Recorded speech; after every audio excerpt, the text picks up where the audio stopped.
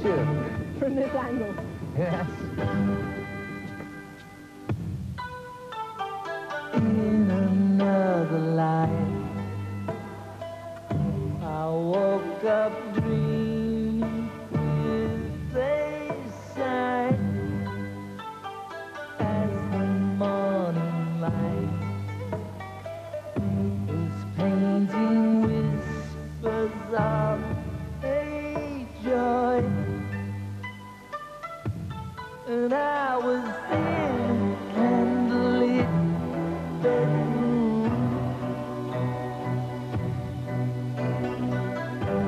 Enchanting beauty Shimmering magically Like cloud Now we're here on um, China Doll's beautiful junk and it's absolutely lovely. It's all red lacquer work. Outside you can smell the wafting scents of the Orient. Wafting sense of the Orient, they'll probably have to be provided by Peter Mullins, the production designer. Not only is he in charge of every detail of the film, he's also trying to get someone to take home China Doll's bed as it's cluttering up his office. Well, I like to work with models when designing sets. It's three-dimensional, it's something you can show the director.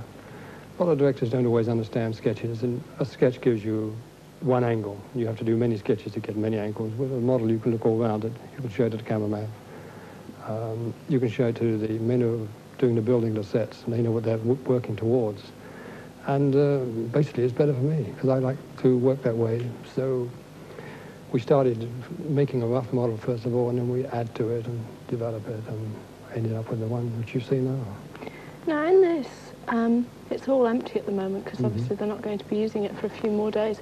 What's going to be in it? Because China Doll's sort of um, a bit of a goer. What kind of furniture she got? Right, well, mainly a bed. Mainly a bed. It's a seven foot square bed, Chinese style bed with mm, canopy and stuff, and it sits right here, and uh, on a rostrum, so that it's in the middle of all this. There's a screen here, which closes and opens, and um, that's about it really, apart from a little bit of side furniture, because she plays a courtesan based on a character called Yelona, Johanna, um, which was the Empress Dowager. So she was real. The character was real, in actual fact, yes. But uh, in our story, uh, it's a lady who has uh, that she's that character and lives on this junk.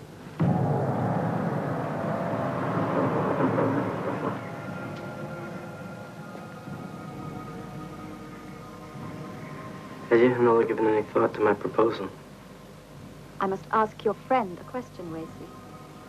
You say you wish to help my country. Why should my jewels be used to buy the opium drug instead of guns? Guns cause pain. Opium eases pain.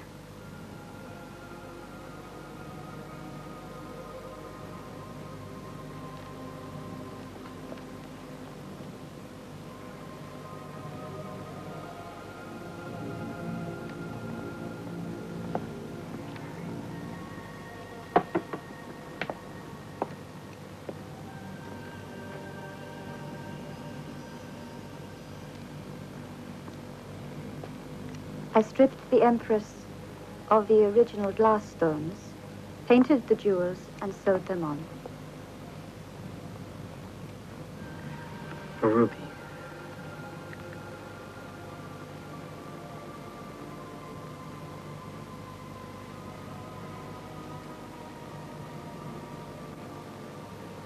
Thank you. Now, you must go. Okay.